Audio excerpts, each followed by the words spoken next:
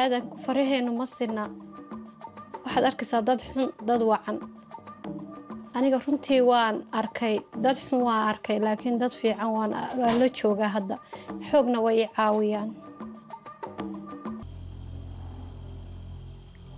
Maalin bay kaxaystay kabacdi gurigiisu i geeyey qolba igu xidhay.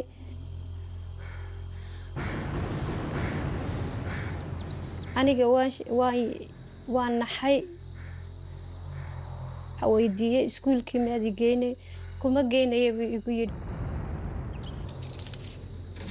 Habeen habeenada ka mida anigoo ina yara. Ayuu isaga igu bilaabay. Uu i fuulay. Kabacdi waan garan waayey anigu. Waan naxay runtii. Waxaan ahaa qof naxsan oo garanayn fuulitaanku wuxuu yahay oo dhaawacmatay oo khasab ku fuulay oo ina yara. Isaga ayaa habeen walba ifuuli jiray. Wax walba wuu iigu sameeyey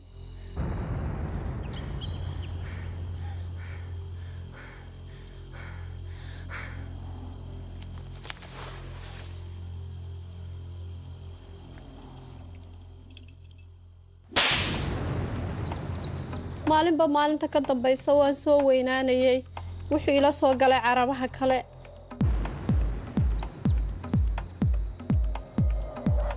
wuu isticmaali jiray nin qarmuun nin buuran nin dhuuban mid qarmuun mid walba Yasmin ble trafikkert gjennom verden i 15 år. Fra Jemen til Dubai, fra Dubai til Hviterussland, fra Hviterussland til Ukraina. Fra Ukraina til Russland, fra Russland til Tyskland, fra Tyskland til Romania, fra Romania til Ungarn, fra Ungarn til Norge. Underveis ble hun gravid. Bakmannen mishandlet henne så grovt at hun aborterte. Ikke lenge etter ble hun gravid igjen.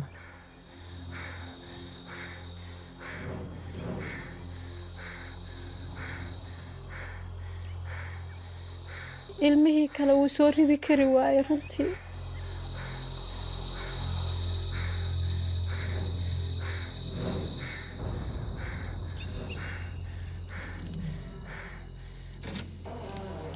wuxuu ii yimi ilmihii oo madaxayga soo jeeda runtii oo aan cid i caawisan lahayn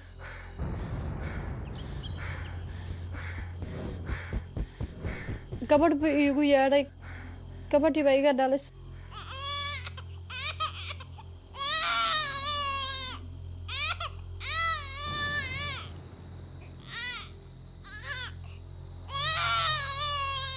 ilmahayga arkayaba gabadhii siiyey oo ay kadinka kala baxday.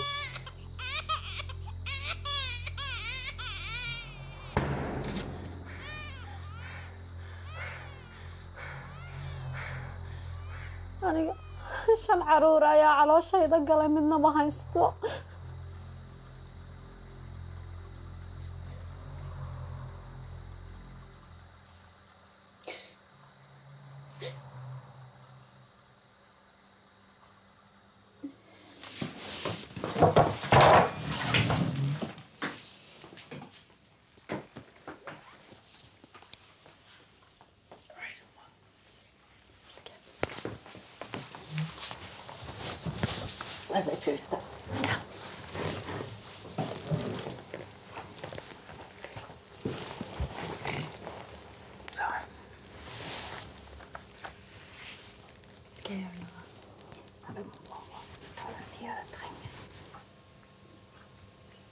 Kjenner du dette på pulsen hennes? Så dette er en måte Kan jeg snakke? Det er en måte å beskytte seg på. Det blir for tøft. Ja. Sant? Jasmin fødte to barn i fangenskap. En jente og en gutt. Hun har aldri fått vite hva bakmannen gjorde med dem. norway i imay aniga ba- bas baan soo raacay. Baskii markaan soo raacay salaad hore ayaan ka degay. Aqalkii qol baa laygu xidhay waan daalanaa waan iska seexday runtii. Aniga habeenkii markii gobolka dhacay albaabkii waa laygu soo furay ninka igu soo furay nin kalea la socdo. Xoog weyn runtii oo dheer oo aada u xoog weyn oo nin weyna wuxuu igu ninkan baad raacaysaa labiso aniga waan ooyey runtii wuxuu ila dhacay suun buu ila dhacay iyo dharbaaxo waan yeelay dharkii baan xidhay.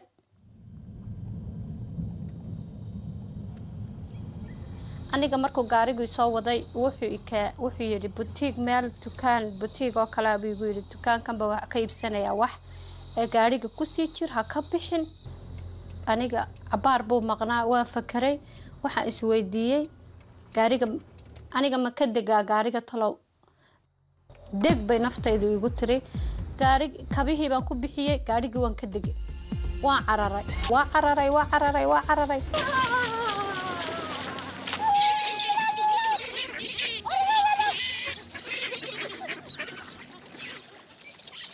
fanget siden hun var et barn. Nå var hun fri og i trygghet på et krisesenter. Nå, Ja. nå, nå er jeg og du på TV. Det var jeg som tok imot henne når hun kom første gangen for fem år siden. Um, Det var en sterk opplevelse, fordi hun eh, var fryktelig redd. Hun stolte ikke på noen. Og um, vi så det med en gang at dette var et fryktelig traumatisert menneske som var livredd.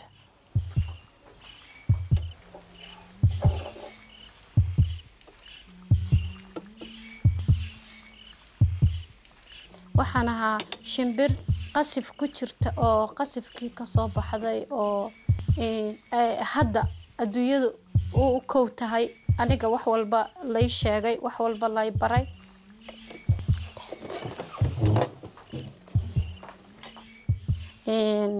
Waxay bareen een, waxay bareen. Intaa waxay doonayaan inay noloshayda dhisaan noloshayda eh, fakarka ay lowsiiyaan Hun har jo levd i fangenskap i hele sitt voksne liv. Hun kunne jo ingenting når hun kom her, så vi har Personalet her har lært om mange ting. og Det er alt fra strikking og hekling og sying og matlaging og alle sånne ting. ja. Anybody? Ja. Yes, han. Nei.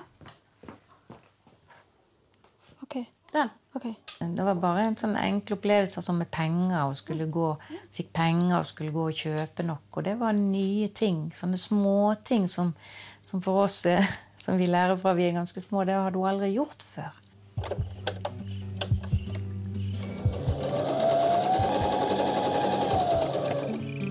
Ferdig. Kjørt. Jeg sin kjørt. Sitt short.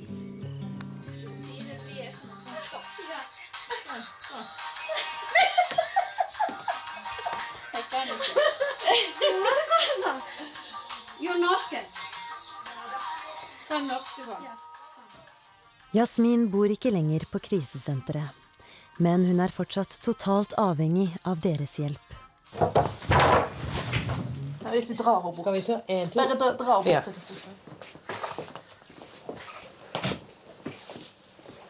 En, To.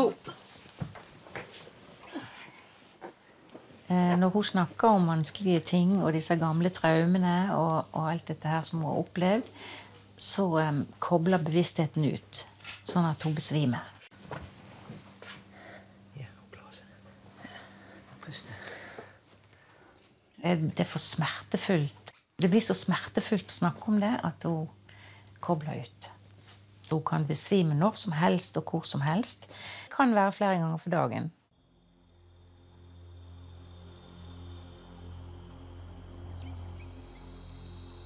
Jasmin anmeldte bakmannen sin til politiet i 2009.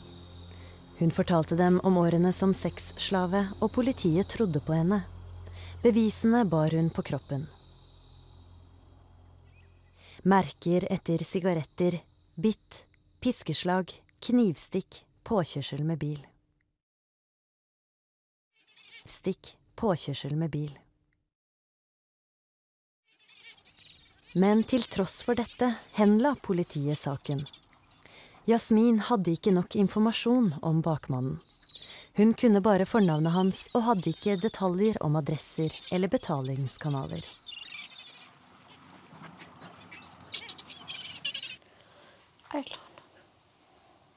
Jasmin fikk avslag på opphold i Norge. Siden anmeldelsen hennes ikke har ført til en tiltale mot bakmannen, har hun ikke lenger rett til beskyttelse her i landet. Jeg tenker gjorde jeg var ferdig, gjorde jeg kom.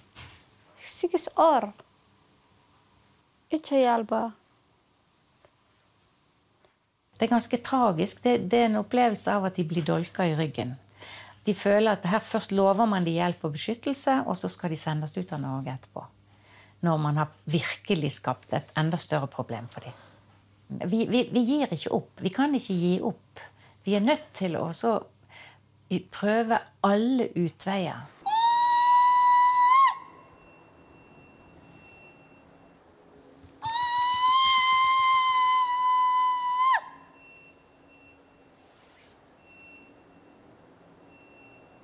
like sanker skal behandles likt. Og dersom vi hadde akseptert dommen for henne, så har det betydning for mange, mange andre i samme situasjon. Et av landene Jasmin ble tvunget til å prostituere seg i, var Ungarn. Etter at bakmannen kjørte på henne med en bil, havnet hun på sykehus. Fra sykehuset ble hun sendt til et flyktningemottak, og der avga hun et fingeravtrykk. Først i ettertid har hun forstått at hun med dette fingeravtrykket hadde søkt asyl i landet. Hun fikk innvilget asyl i Ungarn i 2009. Da var hun allerede trafikkert videre. Men i henhold til Dublin-avtalen skal hun sendes tilbake dit. Det som er prinsipielt i denne saken, det er spørsmålet om en person som har allerede fått asyl i Europa, skal kunne velge seg et annet land og komme dit og be om å få asyl der også. Eh, og det er noe som gjelder veldig mange som har asyl i andre land, men som heller vil komme til Norge av familiære grunner eller av andre grunner. Det kan gjøres unntak fra Dublin-avtalen hvis det er særlig sterke hensyn som f.eks. helse eller fare for forfølgelse. Utlendingsnemnda mener Jasmin ikke oppfyller noen av disse kravene. Er du her? Det er også viktig å vite at vi har ikke gått inn i hennes sak. Vi har kun vurdert det formelle om det er adgang til å behandle hennes sak, om den skal behandles. Så vi har faktisk ikke sett på enkelthetene i hennes sak, selv om vi jo selvsagt har sett at det er anførsler om helse. eh, Men de har vi ikke vurdert. Vi mener, selv om jeg nå går inn i enkeltsaken som jeg ikke ønsker, at hun kan få tilstrekkelig oppfølging i Ungarn. eh, Og derfor så har vi ment at hun ikke når opp til terskelen for å få sin, sak behandlet her. Fra hvem har dere den informasjonen der? Den har vi innhentet fra våre kilder, som bl.a. er ambassade og andre. Vi har kontaktet ungarske immigrasjonsmyndigheter og bedt de vurdere hvilken hjelp Jasmin vil få dersom hun blir returnert. To instanser slår fast at de ikke kan tilby henne noen form for hjelp. De konkluderer med at det ungarske systemet overhodet ikke er i stand til å ivareta et menneske som er så traumatisert som henne. Vi tror at eh, hun har ingen sjanse eh, hvis hun blir sendt ut av landet. Hun har ingen plass å dra. Eh, hun har ingen slektninger, ingen kjente, ingen plass. Hun kjenner ingen. Hun har ikke hatt noen andre relasjoner i livet før hun kom til Norge, enn hennes bakmann.